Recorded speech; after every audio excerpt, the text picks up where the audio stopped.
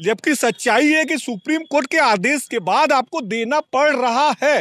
इन सब चीज़ों से पहले हट जाओ।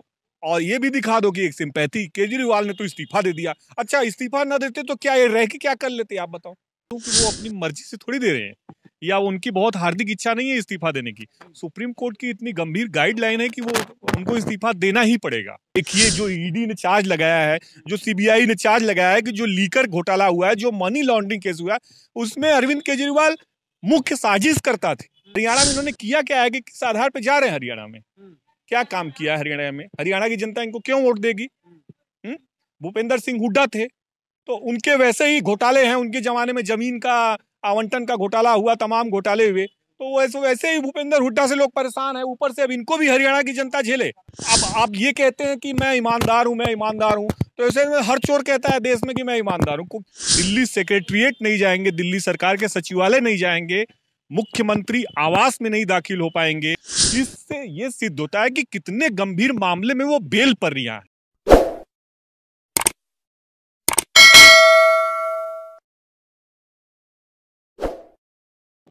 नमस्कार, आप देख रहे हैं देशी न्यूज़ और मैं हूँ आपके साथ मानव कश्यप। आपको बता दें, जिस तरीके से आज अरविंद केजरीवाल ने अपने इस्तीफे की जो बयान है, वो दे दिया है कि दो दिन के बाद वो इस्तीफा दे देंगे। उसको लेकर लगातार दिल्ली के अंदर राजनीति गरमाई हुई है। जनता की इस पर क्या राय है? वो जानने के लिए अभी हम लोग राजीव चौक में मौजूद है और आपको बताएँगे कि किस तरीके से जनता इस बार क्या सोच रही है क्या इस्तीफा देने के बाद में दोबारा आम आदमी पार्टी की सरकार बनने वाली है या फिर इस बार बीजेपी अपना यहाँ पड़ला भारी करती हुई नज़र आएगी? लोगों से बात करेंगे उसे जानने की कोशिश करेंगे। हमारे साथ सर मौजूद है। सर क्या नाम है आपका? मेरा नाम चंदन पांडे है। कहाँ से बिलोंग मैं वाराणसी से मूल से बिलोंग करता हूँ। अरविंद केजरीवाल के बारे में आपने पूछा कि वो दो दिन बाद इस्तीफा देंगे तो वो आपको मैं बता दूँ कि वो अपनी मर्ज़ी से थोड़ी दे रहे हैं, या उनकी बहुत हार्दिक इच्छा नहीं है इस्तीफा देने की। सुप्रीम कोर्ट की इतनी गंभीर गाइडलाइन है कि वो उनको इस्तीफा देना ही पड़ेगा, क्योंकि अगर वो इस्तीफा नहीं देंगे तो दिल्ली की जनता के साथ न्याय नहीं करेंगे। सुप्रीम कोर्ट ने गंभीरता से कहा है कि अरविंद केजरीवाल कोई भी फ़ाइल नहीं देखेंगे, किसी फ़ाइल पे साइन नहीं करेंगे दिल्ली सेक्रेटरिएट नहीं जाएँगे, दिल्ली सरकार के सचिवालय नहीं जाएँगे, मुख्यमंत्री आवास में नहीं दाखिल हो पाएँगे। और जो केस चल रहा है, उस केस के संबंध में सार्वजनिक मंच से या फिर व्यक्तिगत रूप से कोई टिप्पणी नहीं करेंगे। इससे यह सिद्ध होता है कि कितने गंभीर मामले में वो बेल पर रिहा है। दिल्ली के मुख्यमंत्री, जेल वाले मुख्यमंत्री पहले थे, तिहाड़ में, जेल में। अब वो बेल पर हैं, बेल पर चल रहे हैं। क्लीन चीट नहीं मिली है। मानो जी, आपको मैं बता दूँ अभी वो बरी नहीं हुए मामले से। तो ऐसे में वो क्या करेंगे? उनके पास कोई रास्ता नहीं बचता। अगर वो ज़बरदस्ती सीएम रहते हैं तो दिल्ली की जनता का नुकसान होगा। दिल्ली की जनता उन्हें खींच के कि आप जब आपको रोक दिया है तो आप दे दीजिए किसी और पार्टी को बना दीजिए कम से कम कार्य तो चलता रहे। तो दिल्ली की जनता ये कहे उससे पहले उन्होंने इस्तीफा दे दिया। तो ये तो सब लोग जानते हैं कि उनको इस्तीफा देना ही देना है। अब वो अपने जेल के अंदर रह के भी तो इस्तीफा दे सकते बाहर आके ही क्यों नहीं, जेल के अंदर रह के उसलिए इस्तीफा नहीं दे रहे थे कि उनको एक उम्मीद थी, मानव जी, की जब हमको सुप्रीम कोर्ट से बेल मिलेगी तो हम पूर्ण रूप से पावर में जाएँगे। ऐसा सुप्रीम कोर्ट लगाएगी नहीं, इतने रिस्ट्रिक्शन, इतनी शर्तें नहीं लगाएगी, उनको ये आभास नहीं था। लेकिन जब बेल उनको ग्रांट की सुप्रीम कोर्ट ने तो सशर्त जमानत दी है, इन इन शर्तों का पालन करना है। अगर वो शर्तें तोड़ेंगे तो हो सकता है उनकी बेल कैंसिल हो जाए, रिटर्न जेल जाना पड़े। तो उन शर्तों को भी मानना है उनको, ठीक है? वो शर्तें हैं। उसी शर्तों को मानने के आधार पर उनको जेल जेल से रिहा किया गया है। अगर कल को वो शर्त तोड़ते हैं और विपक्ष का वकील जाके क्लेम करता है सुप्रीम कोर्ट में कि जज साहब, ये तो शर्तों को नहीं मान रहे तो हो सकता है उनकी बेल कैंसिल हो। तो ये शर्तें हैं सुप्रीम कोर्ट की जिसको मानना है। तो ऐसे में वो क्या करेंगे? वो उनको इस्तीफा देना ही है, पार्टी चलानी है। अगर जबरन रहते हैं तो उनकी छवि खराब होगी। पहले से ऑलरेडी छवि खराब है। तो अब ये देखना है कि वो किसको उनका तो कहना ये है ना कि मैं ईमानदार हूँ और मैं अग्नि परीक्षा दे रहा हूँ इस्तीफा देके। वो तो शुरू से ही कह रहे हैं लेकिन आप देखिए जो ईडी ने चार्ज लगाया है जो सीबीआई ने चार्ज लगाया है कि जो लीकर घोटाला हुआ है जो मनी लॉन्ड्रिंग केस हुआ है उसमें अरविंद केजरीवाल मुख्य साजिश करता थे। बाकायदे चार सीट में भेजा है अरविंद केजरीवाल का नाम जो साउथ के जो शरद थे उनको अरेस्टिंग के बाद जो उनकी बयान के आधार पर ईडी ने चार्जशीट बनाई और माननीय न्यायालय के समझ प्रस्तुत किया। तो ये ये तो ये तो ईडी और सीबीआई की जाँच में साजिश करता है मुख्य साजिश करता है। तो ये कहाँ से कह रहे हैं? ये तो शुरू से कह रहे हैं अन्ना के आंदोलन से कि मैं ईमानदार हूँ। तो ये मैं ईमानदार हूँ मैं ईमानदार हूँ तो क्या सुप्रीम कोर्ट गलत है क्या? या फिर ईडी और सीबीआई की एजेंसी गलत है क्या? वो तो ये है कि बीजेपी खरीदी हुई है ईडी और सीबीआई तो। नहीं किसी के कह देने से खरीदी हुई है क्या? कि ये तो कहते हैं कि सबसे ईमानदार मैं हूँ बाकी सब चोर हैं तो क्या यही एक ईमानदार है? और चार्ज इनके पे कैसे लगा? उस चार्ज के बारे में क्या बोलते हैं ये? गलत चार्ज लगा। जो गवाही हुई, के कविता की गवाही हुई शरद की गवाही हुई, जो साउथ का कनेक्शन है, उसके बाद इनको ईडी ने अरेस्ट किया है। ऐसे नहीं कि क्या हाथ पकड़ के नौ नौ सम्मन भेजे गए। जब सम्मन को नहीं माना तो उसके बाद इनको बुलाया गया। अब आप ये कहते हैं कि मैं ईमानदार हूँ, मैं ईमानदार हूँ तो ऐसे में हर चोर कहता है देश में कि मैं ईमानदार हूँ। क्योंकि आपने सुना है ना बचपन से ही कि कोई भी चोर कहता है कि मैं चोर हूँ। ये कहेंगे मैं चोर हूँ। डायरेक्टली चोर बता रहे नहीं अब तो ईडी के हवाले से मैं बता रहा हूँ। जो ईडी और सीबीआई की जो रिपोर्ट है उसके हवाले से मैं बता रहा हूँ। सर क्या लगता है कि अभी जो जिस तरीके से बात कर रहे हैं ईमानदारी की और अग्नि परीक्षा की तो अभी हरियाणा में इलेक्शन है। तो हरियाणा में इनकी ईमानदारी चलने वाली है? आप देख लीजिए हरियाणा में ये आज पहली बार नहीं लड़ रहे हैं। पहले भी लड़ चुके हैं। यूपी भी लड़ चुके हैं।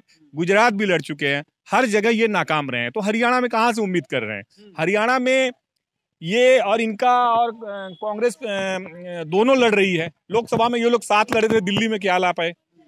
ज़ीरो। तो ये तो बस बोलते हैं बड़ी बड़ी बातें बोलते हैं कि हम मोदी को हटा देंगे हम ये हटा देंगे भले कुछ हो चाहे ना हो फिर हवा हवाई फायरिंग। हरियाणा में इन्होंने किया क्या है कि किस आधार पर जा रहे हैं हरियाणा में? हम्म।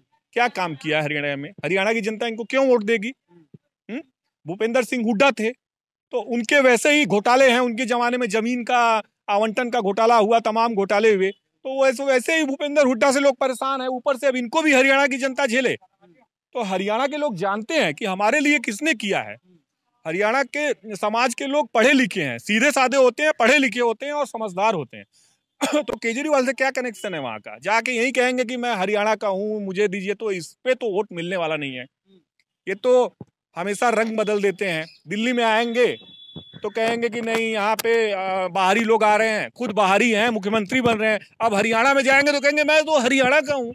तो जैसे गिरगिट रंग बदलता है, वैसे ही बॉर्डर क्रॉस करके इनका रंग बदल जाता है। दिल्ली में आएँगे तो कहें मैं दिल्ली में का हूँ, हरियाणा में जाएँगे तो वहाँ यूपी में जाएँगे तो कहें यूपी से मेरा रिश्ता है। तो क्या काम किया है हरियाणा के लिए? दिल्ली के लोग तो ऐसे ही आपको झेल रहे हैं। आपने जेल में काट दिया, समय आपने इस्तीफा क्यों नहीं दिया? आप किसी अपने जूनियर को बना देते। या पार्टी में जो नंबर दो है, नंबर तीन है, उसको बना देते। लेकिन सीएम इनको रहना था, उसमें दिल्ली की जनता का नुकसान हुआ। आपको एक उदाहरण दे रहा हूँ। आडवाणी जी पे आरोप लगा था। आडवाणी जी ने क्या कहा था कि जब तक मैं आरोप से बरी हो, नहीं हो जाऊँगा, तब तक कोई मुकद चुनाव नहीं लड़ूँगा। अगर ये कहते हैं कि मैं ईमानदार हूँ ईमानदार हूँ तो फिर क्यों मुख्यमंत्री का पद इन्होंने लिए रखा? क्यों नहीं दिया? दिल्ली की जनता का कितना नुकसान हुआ? एक भी साइन नहीं हुआ, एक भी काम नहीं हुआ, कुछ नहीं हुआ, नए प्रोजेक्ट नहीं पास हो पाए। हट धर्मिता पे अपना है। तो अब ये बात कह रहे हैं कि नहीं अब मैं इस्तीफा दूँगा। मनीष सिसोदिया जब तक हम लोग बरी नहीं हो जाते तो ये क्या है? आप ये दिल्ली की जनता के साथ इमोशनल कार्ड खेलना चाहते हो? आप सिंपैथी लेने का कोशिश कर रहे हो? दिल्ली की जनता ने बहुत चुनाव देखे हैं बहुत पार्टियाँ देखी हैं। हाँ। तो ये किसी के दिल्ली की जनता किसी की इमोशनल में नहीं आने वाली है। वो पढ़ी लिखी समझदार है वो जानती है कब क्या करना है। कैसे दिल्ली का विकास रुक रहा है उसको पता है। लेकिन वो तो कह रहे हैं कि बीजेपी हमारा विकास रोक रही है लगातार बीजेपी हमारे पे केसेस फ़ाइल कर देती है हमारे को जेल भेज देती है। हमारे दो अभी ज्ञान मंत्री जेल के अंदर सत्येंद्र जैन है ठीक है अमरुतुल्ला खान है। आप मानव जी बताइए आप वरिष्ठ पत्रकार हैं अगर कोई भी सांसद हो विधायक हो एमएलए एमपी एमएलसी हो या कोई भी हो माननीय व्यक्ति हो अगर वो अपराध करेगा तो क्या हमारे देश में उसको सजा नहीं दी नहीं दी जानी चाहिए? दी जानी चाहिए ना? तो अगर इन आम आदमी पार्टी से जुड़े या बीजेपी या कोई भी पार्टी हो, अगर वो अपराध करेगा तो कानून तो सब पे लागू होना चाहिए ना। हमारे पे, आप पे हर एक व्यक्ति पे लागू होना चाहिए, जो भी अपराधी है। क्योंकि अपराधी को यहाँ बख्शने का कोई प्रावधान नहीं है हमारे देश में। अपराधी को अपराध की सजा मिलनी चाहिए। यही बात मोदी जी भी कहते हैं, यही बात अमित शाह भी कहते हैं, यही बात विपक्ष की पार्टियाँ भी कहती हैं। तो आप फिर ऐसा क्यों कह रहे हैं कि बीजेपी वाले काम रोक रहे हैं? बीजेपी वाले अपना काम कर रहे हैं। बीजेपी की सरकार अपना काम कर रही है। वो किसी पार्टी और किसी जाति धर्म को देख के अपराधियों पर कार्रवाई नहीं कर रही है। एक्चुअल में जो अपराधी है एक्चुअल में जो रियल में जो अपराधी है उसको अब उसके दरमियान अगर इनके लोग आ रहे हैं तो उसमें क्या बीजेपी को आप दोषी बताएँगे? वो तो आप ये जाके पूछते क्यों नहीं कि हमारे पे क्या चार्जेस हैं? अगर इनको शक है कि हमारे ऊपर गलत कार्रवाई हो रही तो सुप्रीम कोर्ट में जाते क्यों नहीं ये लोग? कोई कभी नहीं जाता है इसका मतलब मान रहे हैं कि हमारे अंदर गलती है तो सबके लिए दरवाजे खुले। ऐसा नहीं कि किसी को जबरन या हमें आपको कोई चार्जेस लगा के अंदर कर देगा। ऐसा होता है क्या? तब तो अगर ऐसा होने लगे तो पुलिस तो किसी को रहने न दे। ऐसा नहीं है। जो अपराधी है, जो गलत कर रहे हैं, उनको ही दिया जाना चाहिए। उनको ही दिया जा रहा है। केजरीवाल भले ही करें, अब तो आप जानते हैं अगले साल चुनाव होने वाला है। तो उनको ज़्यादा से ज़्यादा सिंपति आप अभी भाषण में आपने देखा होगा कि नवंबर में चुनाव करने की बात कर रहे हैं तो क्या है ये सब? वो तो उनको एक ऐसा लग रहा है कि नहीं जनता हमारे साथ है। जनता न उनके साथ है, ना बीजेपी के साथ है, ना किसी सत्य के साथ है। जनता ये जानती है कि जो शराब घोटाला का जो मामला चल रहा है, जो मनी लॉन्ड्रिंग का मामला चल रहा है, ये सच है कि झूठ है? ये जनता को मालूम है। बाकी सीबीआई और न्यायालय में जाँच चली रही है। वो तो न्यायालय की निगरानी में है ही, सुप्रीम कोर्ट के। वो तो आज नहीं, कल दूध का दूध, पानी का पानी होना है। उसमें हमें आपको टेंशन लेने की ज़रूरत नहीं है। वो तो लगता है इसके बाद में सीएम जो पद का अधिक क्या नाम है दावेदार है कौन होने वाला? नहीं अब तो इन्होंने काफ़ी देर से इस्तीफा दिया इनको पहले दे देना चाहिए था। अगर ये पहले दे देते तो कोई नया मुख्यमंत्री होता तो शायद दिल्ली में योजनाएँ लागू होती विकास कार्य आगे बढ़ते लेकिन वो अवरुद्ध रहा इतने दिनों तक। इन्होंने नहीं दिया इस्तीफा। तो ये गलत है। आप अपने कुर्सी के लिए आप अपने पद प्रतिष्ठा के लिए आप दिल्ली का विकास क्यों रोकेंगे? आपको दे देना चाहिए था। अगर आप बरी होके आते आप सच्चे होते तो आपका और सम्मान बढ़ता। आपने दिया नहीं। अब जब आपके हाथ में कुछ नहीं है माननीय सुप्रीम कोर्ट ने सारी शर्तें लगा दी तो आप मजबूरी में दे रहे हो और एक सिंपैथी लेने का प्रयास कर रहे हो। जबकि सच्चाई है कि सुप्रीम कोर्ट के आदेश के बाद आपको देना पड़ रहा है क्योंकि जानते हो कि हम दिल्ली में कुछ काम कर नहीं पाएँगे। और अगर काम नहीं करेंगे तो जन, जनता हम पे नाराज़गी करेगी। जनता हमें कोसेगी कि आप हट क्यों नहीं रहो तो इन सब चीज़ों से पहले हट जाओ और ये भी दिखा दो कि एक सिंपैथी केजरीवाल ने तो इस्तीफा दे दिया। अच्छा इस्तीफा ना देते तो क्या ये रह के क्या कर लेते आप बताओ? रह के क्या कर लेते? सुनीता केजरीवाल का बार बार नाम सामने आ रहा है क्या पता उनको सीएम पद का, का दावेदार बना अब देखिए वो उनकी अपनी पार्टी की बात है। सुनीता केजरीवाल पे मैं कोई टिप्पणी नहीं करूँगा। या उनके पार्टी में कोई कौन मुख्यमंत्री बनेगा क्या करेंगे आगे क्या मैं इस पर कोई टिप्पणी नहीं करूँगा लेकिन इतना कहूँगा कि परिवारवाद अगर न चले इस देश में तो ठीक है। बाकी उनका अपना उनका अपना दल है, अपना पार्टी, अपना बहुमत है, जिसे चाहे वो बनाए, लेकिन थोड़ा सा अगर ईमानदार अपने को बोलते हैं तो परिवारवाद से थोड़ा बचें। ये मैं व्यक्तिगत रूप से कह रहा हूँ तो अब उनकी अपनी पार्टी है, वो लोग तय करेंगे बैठ के क्या होगा, क्या नहीं होगा, फिर आगे क्या संवैधानिक परिस्थितियाँ बनती हैं, क्या एलजी का क्या रोल है उसमें और क्या वो कैसे सरकार बनाने के लिए आमंत्रित करते हैं, क्या होता है, वो तो देखने वाली बात है। लेकिन अब उस पर देखना है, फ़िलहाल तो ये देखना है कि दो दिन बाद वो क्या करते हैं। सही बात है, बिल्कुल देखने वाली बात होगी कि जिस तरीके से अरविंद केजरीवाल ने बयान सामने आया कि दो दिन के बाद वो इस्तीफा देने वाले तो क्या लगता है कि इस्तीफे के बाद में कितनी जल्दी दिल्ली के अंदर इलेक्शन होने वाले हैं और दिल्ली के अंदर अब मुख्यमंत्री का चेहरा कौन होगा? क्या केजरीवाल साहब दोबारा होंगे या फिर इस बार कुछ और ही देखने को दिल्ली के अंदर मिलेगा? आपकी क्या राय? कॉमेंट सेक्शन ज़रूर बताएँ, देखते रहे देशी न्यूज़ बहुत बहुत धन्यवाद।